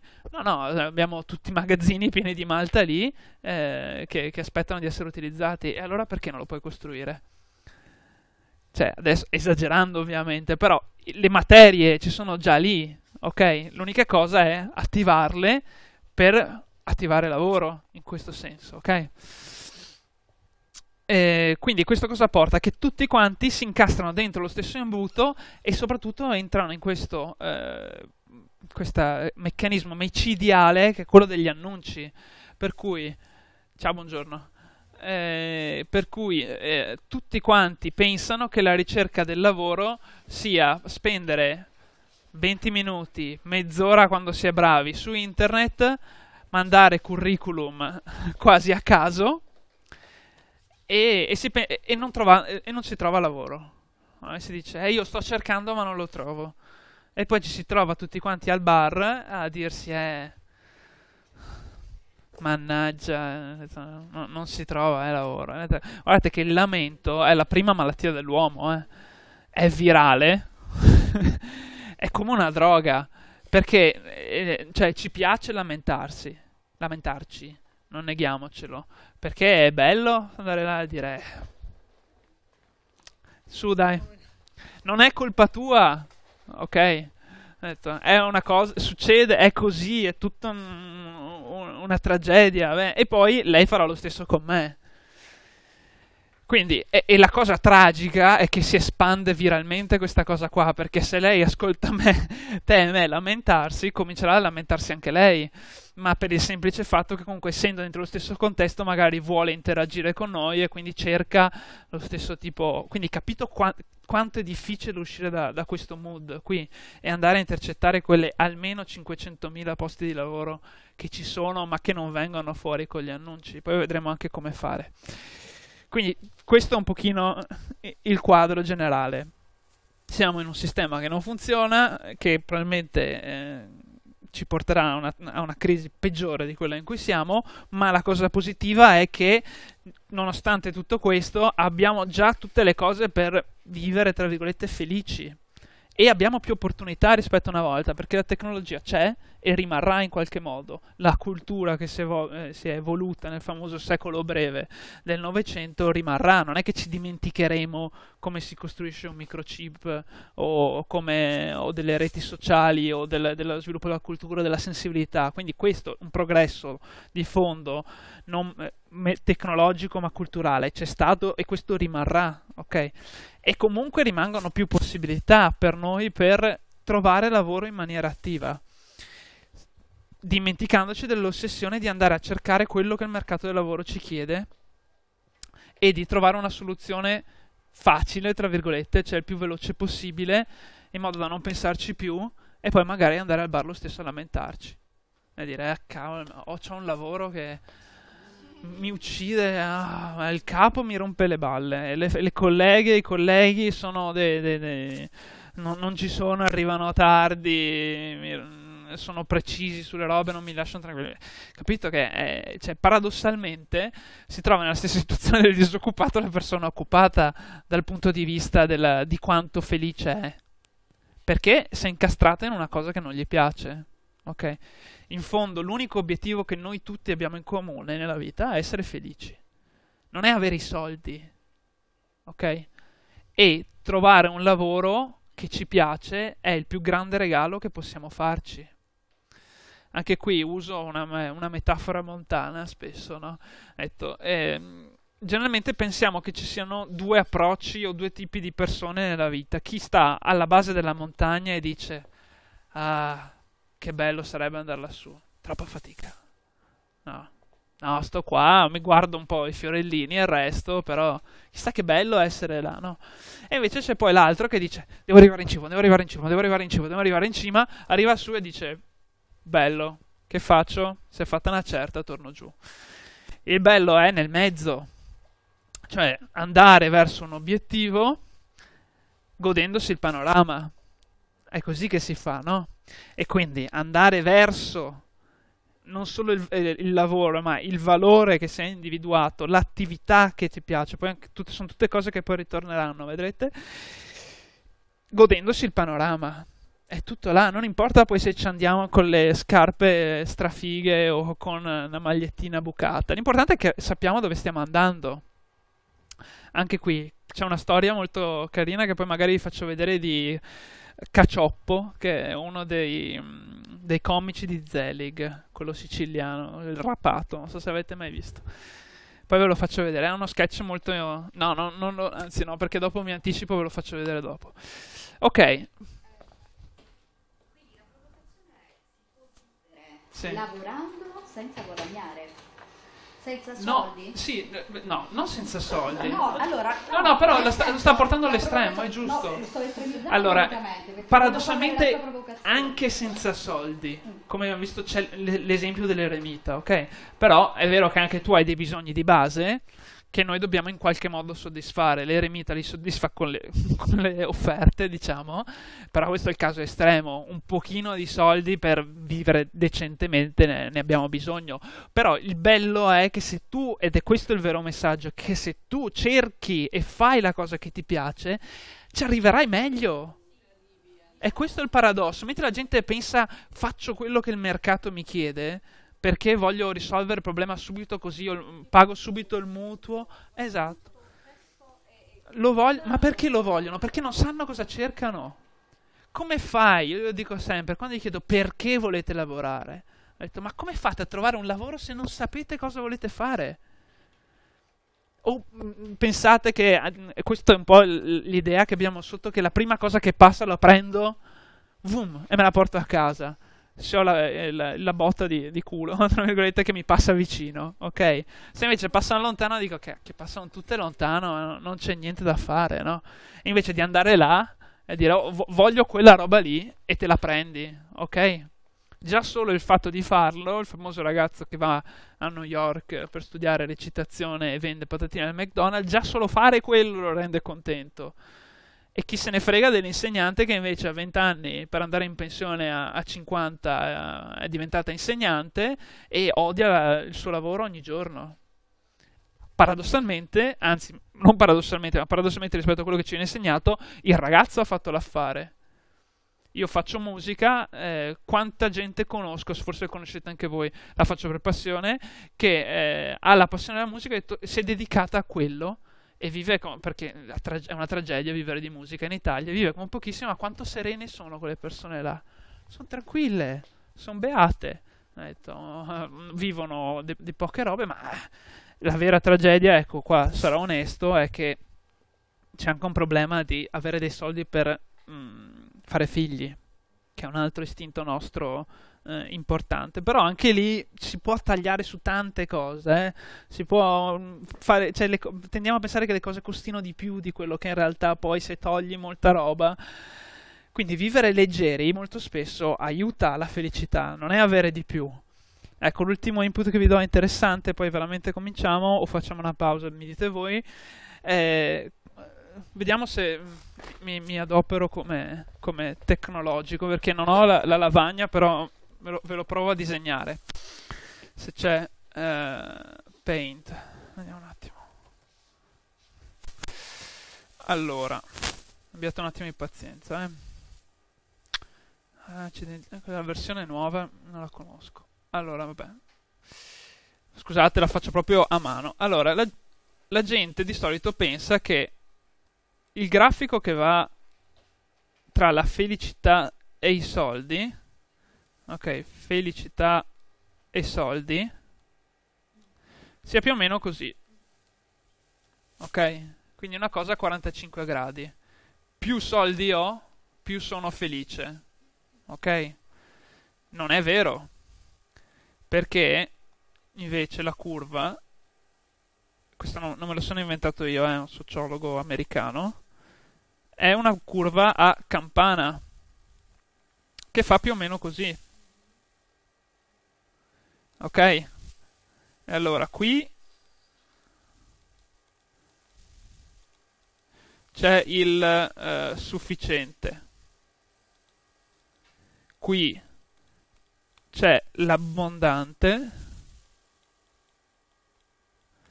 e qua c'è l'abbastanza, che è il punto chiamato così anche se è tradotto male da enough, ok?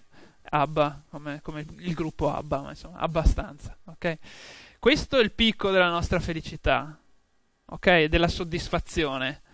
Quindi se uno non ha niente, ma proprio niente, mm, diciamo che secondo questo modello, ma è, è difficile che sia, sia, contento. Appena riesce, nel senso che non riesce neanche a, eh, a soddisfare i suoi bisogni di base, ok? Che è quello appunto di mangiare, di, di, di, avere un tetto sopra la testa, di coprirsi, di, eh, di riprodursi, principalmente, ok? Appena comincia ad avere un po' di più, ecco, beh, forse la linea devo metterla tipo qua la sua felicità schizza verso l'alto, perché vede che comincia a soddisfarsi in qualche maniera, no? Fino a che passa la parte della sufficienza e, e, riesce a risolvere i suoi beni di base. Poi, mano a mano che aumenta la sua ricchezza, ecco, più dei soldi la ricchezza, no, anzi soldi giusto perché ricchezza non in senso completo, ma proprio monetario, la sua curva continua a salire ma più lentamente. Poi, arrivato a un certo punto, comincia a declinare. E più ha, più si sente infelice. Se non ha un obiettivo, chiaramente. Ok? Quindi quante volte sentiamo la storia del quello che ha tutto, no? che è nato ricco, che è felice, che ha 4-5 macchine in garage, e però sta male. Cioè non, non, vive bene, è frustrato. Eh. E quante volte abbiamo sentito... Eh?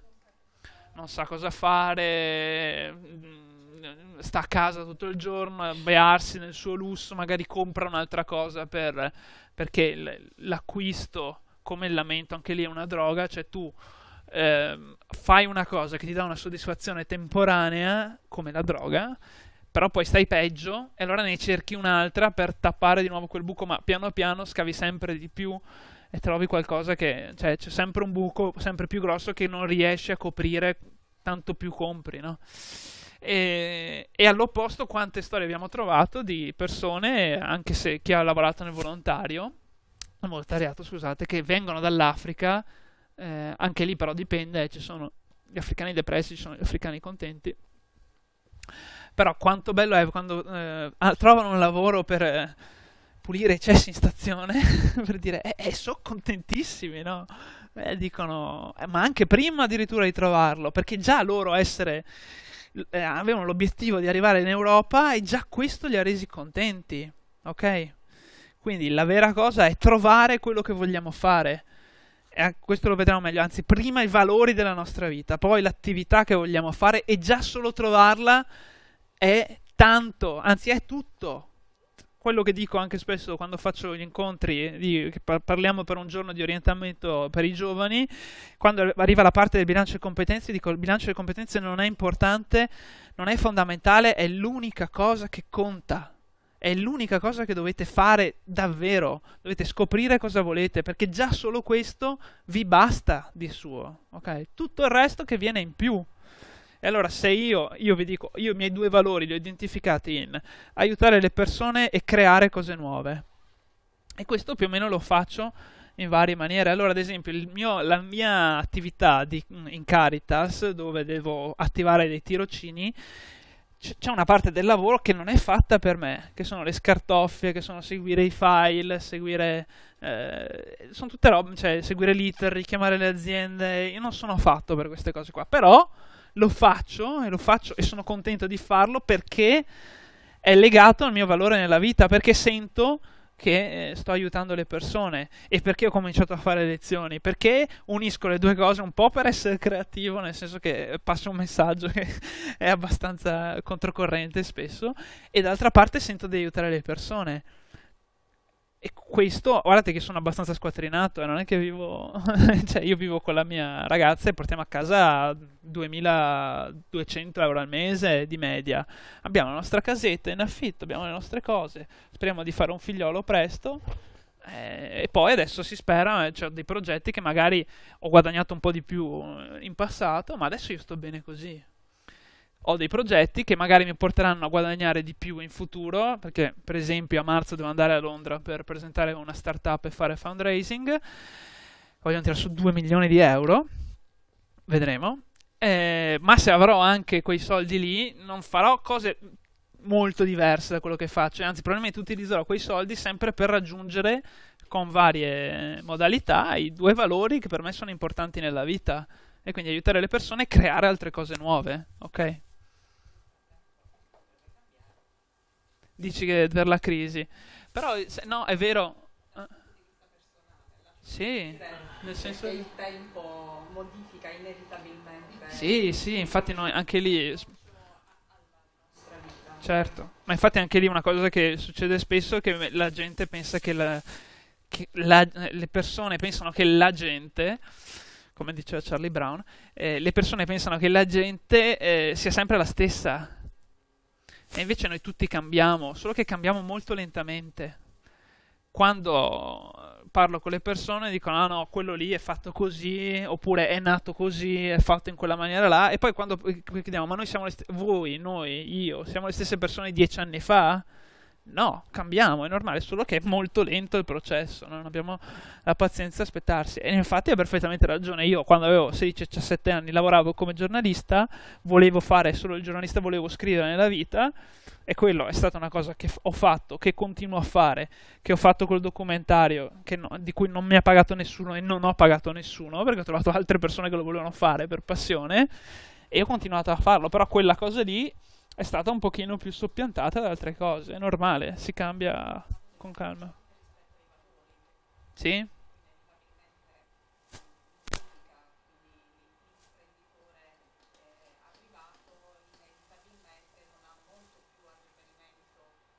sociale e quindi da lì una serie... Eh, no, no, ma non credere.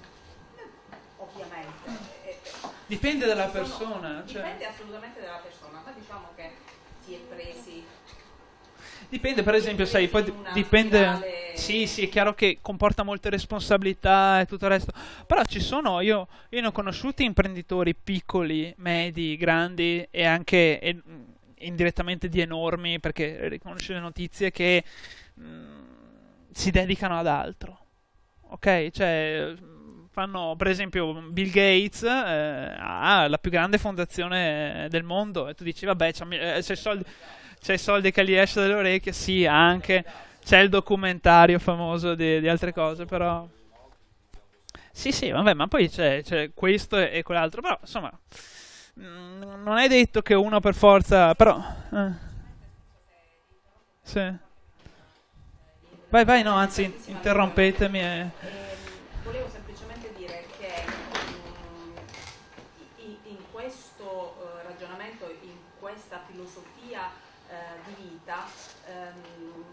manca uh, assolutamente il punto di vista dell'imprenditore, mm. perché nel momento in cui ecco, io vado a proporre il tirocinio per il soggetto svantaggiato al piccolo e anche medio imprenditore, eh, che non, che non ha eh, tutte queste aspirazioni mh, mm, mi sento chiudere la porta in faccia, probabilmente perché mh, mm, in questi meccanismi non sono coinvolti anche, eh, proprio per un discorso di, eh, acquisizione di responsabilità sociale, anche i nostri imprenditori.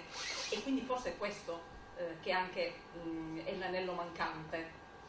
Ma sì, cioè tu dici che fai difficoltà, perché la faccio anch'io, a, a, trovare degli imprenditori che attivino dei tirocini, cioè io attivo dei tirocini, cerco di attivare in, la sensibilità di questo. Sì, ma non credere che sia solo... è il tipo di, di forse anche di, di, di non prenderla letteralmente, l'approccio, cioè il, il, metodo che si usa. Io ti dico onestamente, anche nella mia esperienza, io a Vicenza cerco di attivare dei tirocini per persone svantaggiate che non hanno nessun costo per l'azienda, cioè proprio zero. Ok? L'unica cosa che si prendono è che devono, hanno una, una, una persona che porta lavoro in più e devi formarla, ma un pelino, capito? Perché anche lì ormai non si accetta neanche più quello che non ha mai fatto niente, ma deve avere un minimo di esperienza eh, e tutto. Ed è tragico, tu dici, io ho alzato il telefono, ho fatto 400-500 telefonate e, e, il 95% no, non ti seguono su questa cosa qua, ma non è perché, ma perché proprio c'è, è, è, il mezzo di comunicazione che è sbagliato. Io tutti i tirocini che sono riuscito a trovare l'ho trovato tramite i contatti, perché è l'unica cosa che funziona adesso. E poi lo vedremo. Rete di relazioni personali è, è importantissimo, mm. è assolutamente vitale. È l'unica cosa che funziona. Per determinate situazioni ma è anche vero che io vedo esclusi da questi contesti, nella maggior parte dei casi, i nostri datori di lavoro. Questo è, e, e quindi forse a monte, laboratori dal basso, una formazione dedicata ai nostri datori Posso di lavoro. fare un po', perché altrimenti rifacciamo lo stesso script dell'altra volta, mm. perché in Giappone aveva già fatto questo Ok, scusate. E io ho fatto lo stesso ragionamento. E... Scusate, io non c'ero. Sì, no, ah, no, infatti no, per questo lo sto facendo, perché così collegato tutto. Eh, siamo arrivati a capire che eh, per loro che fanno questo tipo di orientamento e quindi lavorano, loro sarebbero i relatori, i relatori eh, che sono Nicola Giacconi e Riccardo Maggiolo, lavorano insieme, collaborano, quindi per forza dirà la stessa cosa, perché hanno la stessa filosofia.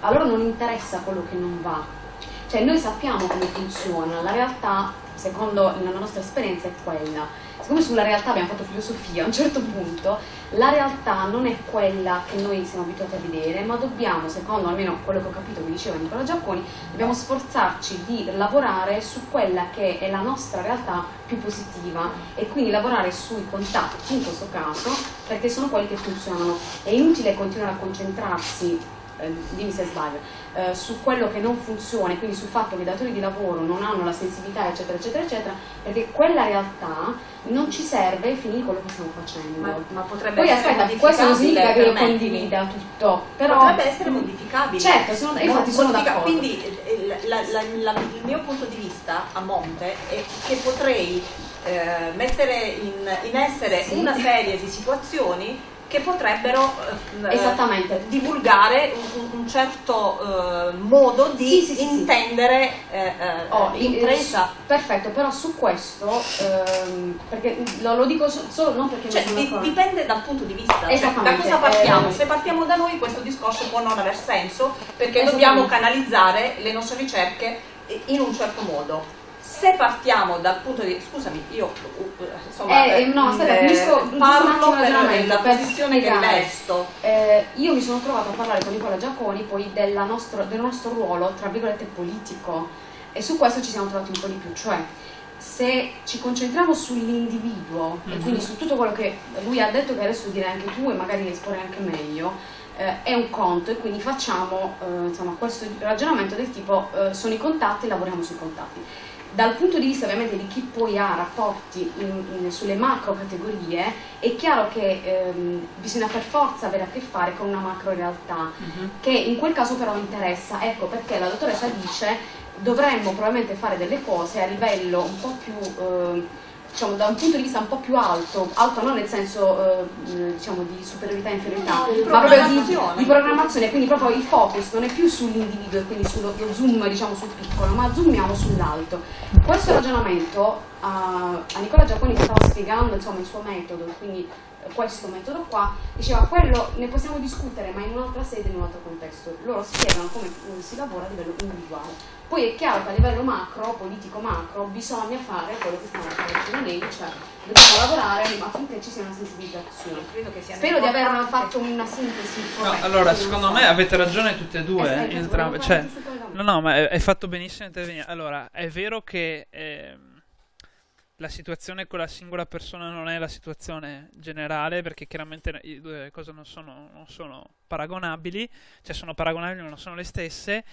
È vero che si può migliorare questa cosa e soprattutto è vero che se ci continuiamo a concentrare su quello che non funziona, non, eh, que- ma su questo siete d'accordo, nel senso che eh, lei sta dicendo non funziona e quindi facciamo qualcosa di, di, attivo per cambiarlo. Lei sta dicendo non funziona, concentriamoci anche sulle cose che funzionano, soprattutto sulle cose che funzionano. E le due cose vanno insieme, chiaramente. Cioè, facciamo, cavalchiamo le cose che funzionano e allo stesso tempo attiviamoci per cambiare quelle che non funzionano. Io faccio un passo an- a- ancora in più. quello che vi dico anche per la mia esperienza è che la stessa persona, cioè non pensate che una persona che vi dà eh, un, un, riscontro, stavo per dire feedback, mi sono trattenuto, un riscontro negativo lo faccia per com'è quella persona lì ma può essere eh, dipeso, cioè può dipendere da un sacco di cose di, di, contesto. La stessa persona che ha il telefono ti butta giù il telefono maledu- maleducatamente, se l'approcci magari con un contatto con una persona, scopri che è una persona che fa volontariato, che, che è stra attenta a questi temi, che sarebbe felice di avere la persona che gli stai proponendo come tirocinio in, in in un altro momento, ci sono mille, tantissimo, io qua riprendo molto il fatto che alla fine ho studiato comunicazione quindi in, in media. Come diceva Marshall McLuhan, nel, purtroppo citato eh, nella sua citazione, il media è il messaggio, no? per dire, cioè come comunichiamo la cosa è alla fine preponderante addirittura sul contenuto. Quindi una telefonata, un'email o cose del genere, come anche vedremo dopo, è centomila volte più facile da cestinare rispetto a una persona che eh, vediamo di fronte a noi e soprattutto a una persona che conosciamo. Ma non solo questo, la, la, la, telefonata e l'email ti porta già ad usare delle, eh, stra- delle, scorciatoie psicologiche, come voi tutte sapete bene, predefinite.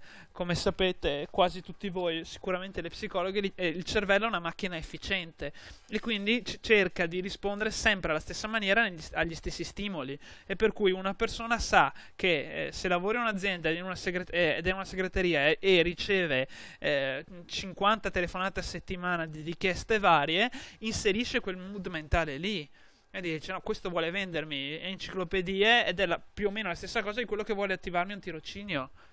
E, e, e, con una variabile molto piccola, ma generalmente mette una soglia molto chiusa.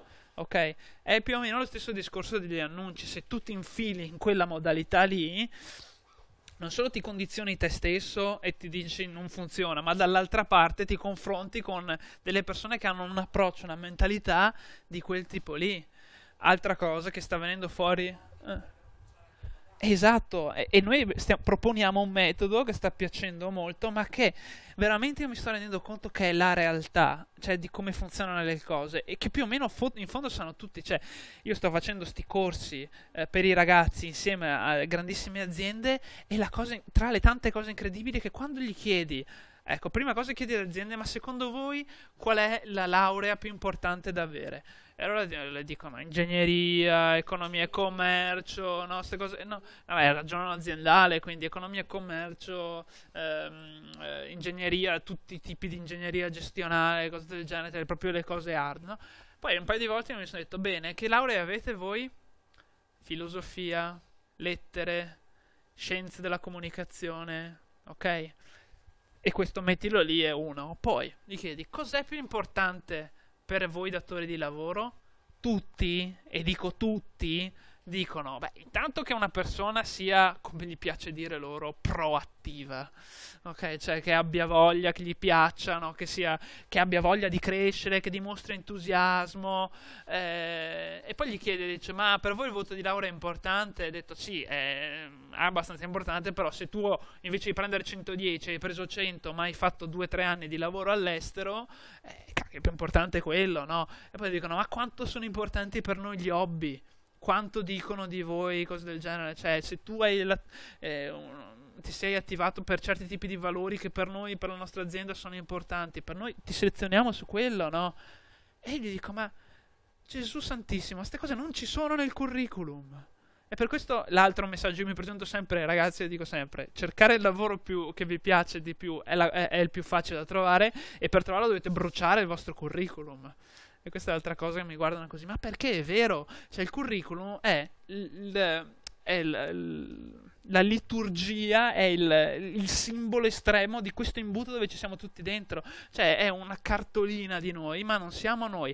E paradossalmente non è neanche quello che interessa dall'altra parte. Ok? È solo che hanno bisogno delle, delle cose misurabili perché sono sommersi da, da richieste e vedono chi cerca lavoro come una minaccia invece che come un'opportunità. E alla stessa maniera, dall'altra parte, quindi per fare autocritica, chi cerca lavoro mette solo, eh, sembra che... Mh, mm, cioè non lo propone come uno scambio, come il lavoro. Il lavoro dovrebbe essere io ti do il mio tempo, le mie competenze, le mie abilità e tu in cambio mi dai una retribuzione e la possibilità di crescere professionalmente. Invece se uno dice cerca un lavoro qualsiasi, adotto, basta che lavoro, la cosa che gli dici al datore di lavoro è dammi uno stipendio, non, f- cioè, non ti sto sottolineando che vantaggio competitivo ti do capito? E quindi questo porta alla, alla, cosa micidiale che si devono basare sul voto di laurea perché gli ricevono 10.000 curriculum, eh, no, 10.000 no, esagero, però diverse centinaia di curriculum e le, sempre le stesse aziende, ok? Ma anche qua mi sto anticipando, poi lo vedremo. E, detto questo, farei presentare lei, visto che è ritardataria. E, E, e, poi mi dite voi se volete fare una piccola pausa o cominciamo con i bacini occupazionali, vediamo un po' di dati. Del? No, vabbè, ci arriveremo anche con eh, abbiamo tempo. Eh, siamo qua. Siamo qua ancora. Eh, eh sì, sì. Infatti.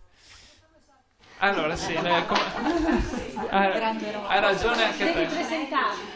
Hai ragione anche te. Allora, eh, come ti chiami? Cosa, cosa fai? Eh, cosa ti aspetti da questo corso? E, da, e cosa ti piace fare? Allora, a Los Angeles sono mestiere, insegno economia aziendale, sono un tipo che sempre in economia commercio. Tanti anni fa insegno per vent'anni, non da poco, e sono qui perché secondo me sono funzione strumentale orientamento al lavoro per quarte di quinte, quindi ho bisogno di qualche informazione, azione, essendo continuando che mi occupo di questa cosa, perché mi trovo qui. E già con Nicola ho avuto modo di apprezzare questo metodo di ricerca attiva mm-hmm. di cui ha parlato Nicola la scorsa volta. E cosa mi piace fare? Eh, mi piace insegnare, nonostante tutte le lamentele, le difficoltà tipiche degli insegnanti, così penso per le altre categorie. E, e, questo mi aiuta anche un po', penso, anche nell'approccio, anche con i ragazzi, mm-hmm. perché molto spesso noi non chiediamo cosa vi piace fare, mm. eh, forse dovremmo chiedere un po' di più, mm. anche durante le nostre lezioni. Farglielo scoprire soprattutto. Solo che eh, ci vogliono delle competenze che purtroppo noi della pianta non siamo psicologi del lavoro, non siamo psicologi e nessuno ci ha insegnato. Eh beh, certo. Vabbè, è chiaro che... Andiamo per. Ne parlavamo prima quanto ci sarebbe bisogno di fare della, dell'orientamento fatto bene, ma è chiaro che questo non può essere delegato a voi insegnanti, deve essere fatto da persone che lo sappiano fare. Cosa ti aspetti da sto corso? capire un po' meglio il mercato del lavoro mm. e di, mi aspetto di instaurare anche delle relazioni che eh. mi possano in qualche modo essere utili poi per istituire un corso a scuola, magari qualche lezione. E, e niente, certo, più che altro mi aspetto di essere utile per la mia utenza, di essere... Ok. E altre cose che ti piacciono al di là del lavoro? Io dipingo, no, cioè eh, altro, pasticcio, ah, beh, dipingi, dipingi, dipingi. E poi ho un hobby un po' particolare, uh-huh. uh, una casa di bambole in formato 1 a 12, quindi uh-huh. queste cose tipiche del nord, mm. una sudista. Eh, è una passione che ho, ma non è che mi tolgo poi tantissimo tempo, visto un momento di... E mi piace okay. organizzare i viaggi per la mia famiglia. Mi preparo brochure, per itinerari, mi diverte stato. Ok. Tu segnati SC, anche un po' di I, però SC. C. SCI, Savona, Como, Imola. Ok? C per creativo, S per pulcro ci arriveremo. Ok, ultima cosa, prima di partire, allora, visto che abbiamo un sacco di tempo, io qua vi faccio una proposta, l'avrei dovuta fare prima, però ditemi voi se siete d'accordo. Eh, allora, oggi licenziamo eh, la parte per i vaccini occupazionali che vedremo subito prima di pranzo e ehm, facciamo già un po' di internet, di social network, di come si cerca lavoro col web, di conoscere un po' questi strumenti. E secondo me dovremmo già farcela entro oggi e, e parte di forse della mattina di domani, ma insomma confido che tempo ci sia. Eh, la giornata, di, quindi in pratica condenso in una i due temi. Se volete la giornata di domani invece andiamo proprio sulla comunicazione che è comunque la parte attiva del lavoro. Io ho tanto da offrirvi su questo punto di vista, potrei parlarvi di, eh, di linguaggio del corpo, di, eh, della voce, che è bellissimo per me, eh, che è bellissimo e sappiate non è facile nel senso che bisogna un po' lasciarsi andare, però è divertentissimo, se non ci cacciano via perché facciamo un po' di, di, di gorgheggi qua, qua in giro. E poi comunicazione emotiva, comunicazione efficace. Non riusciremo a farle tutte e quattro. Eh, pensate un po' quale può, discutete fra di voi quale può essere la cosa che vi interessa di più e poi domani l'affrontiamo. Perché poi sono tutte cose che comunque nei colloqui di lavoro, ma anche nella vita in generale, servono. Vi piace come idea, più o meno? Ok? E poi prima di andare via vi faccio sapere cosa sono le lettere. No, no, anzi, quello, anche quello vediamo se riusciamo a ritagliarci un po' di tempo verso la fine della giornata di oggi. Ok? Come siete? Siete un po' cotti? Volete 10 minutini di pausa? Sì, dai.